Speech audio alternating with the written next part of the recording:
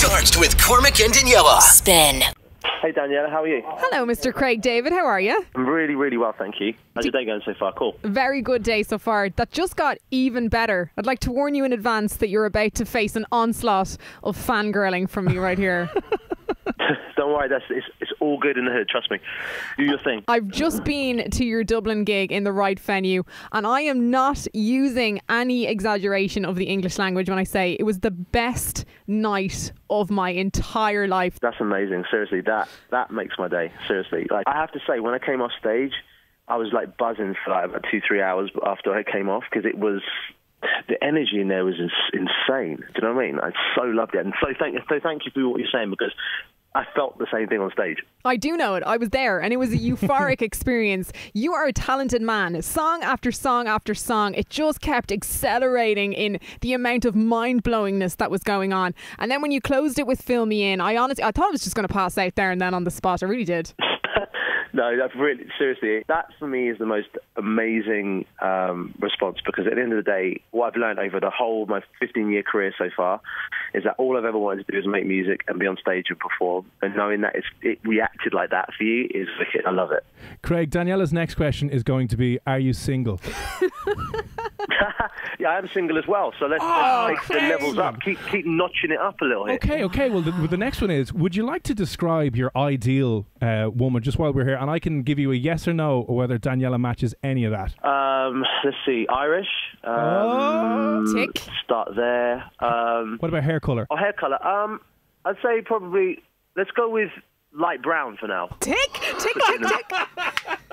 Uh, We're, do, we're doing all right right We're doing moment. good so far, yeah. Irish, light brown hair, yeah. Um, let's say voluptuous lips, but can be pronounced when she put lipstick on. Oh, no. Daniella's lips are horrific. Sorry, Cormac. I have voluptuous lips that are No, extra don't. pronounced when I put lipstick on. Craig, I'm your ideal woman, and I'm blushing right now. I have to say.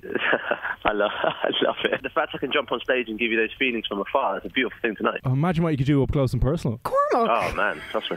sir, can you? I'm trying to have a. I'm trying to have a professional trying to set you up conversation here with your- your- with your idol David. here. Um, I just want to let you know as well that "Born to Do It is the greatest album of all time. It's literally baby making music. I'm sorry, I know every word to every song uh, on that album, and I listen to it to this day. Do you know what? Like, the, it's funny thing. It's only like more recently I've been able to like turn the album on or listen to the album and actually hear it as an album, as opposed to when I first released that album. I was doing those songs so frequently that it was a different kind of vibe for me actually listen to the whole album in its entirety.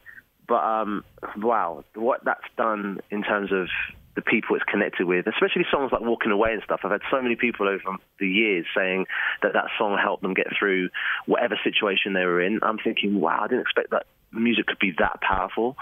So yeah, it's it's, it's really flattering. Do you know what I'm saying? So that's the, the, the, the old stuff. Tell us about the new stuff that's coming up this year.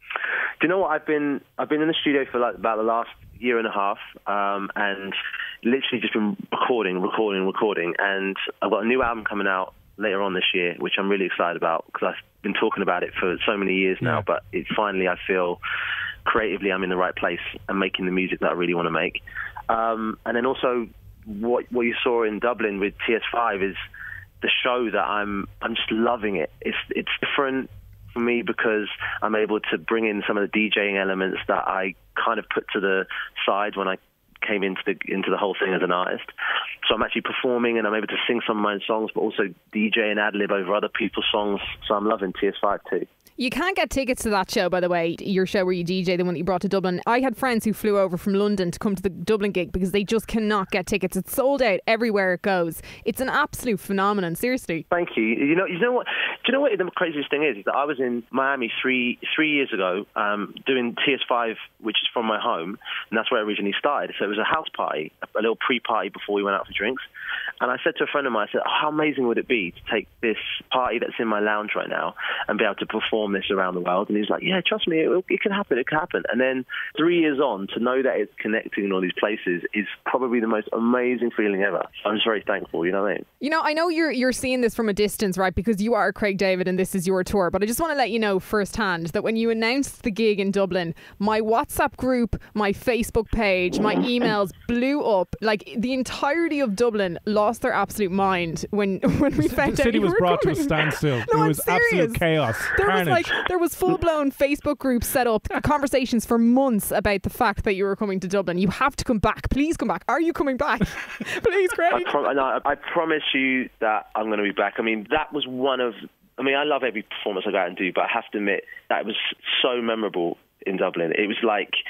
It's just that you were there. I mean, you saw the energy was just like this is insane. You know, when you get when you play "Fill Me In" and and play a remix of "Walking Away," but seeing it react the way it did was just like this is insane. So I can't wait to come back, and I have to come into into the, into the radio station next time, so actually we can do a face Oh, to face. oh yes, man. Craig, we promise have me to that have you in here. I need a selfie so bad. You don't understand how many likes I'll get if I get a selfie with you. Plus, you know, I am Irish and I do have uh, light brown hair. Done deal then. So Well- we got the selfie sorted out.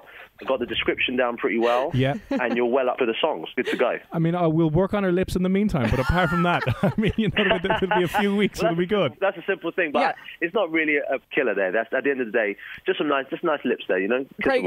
Craig, they look great with lipstick on. I'll wear lipstick when you come in, I promise. Listen, it's been so amazing to catch up with you. We're going to play your brand new song with KDB and Major Lazer, Who Am I? Uh, listen, keep releasing the music and make sure you come back to Dublin. We absolutely love you, me especially. But Will, thank you so much for the love. I really appreciate it, guys. It's wicked. Cheers, Craig. Craig. Thank you. Take care, guys. I'll see you soon. Bye. Fully charged with Cormac and Daniella. Spin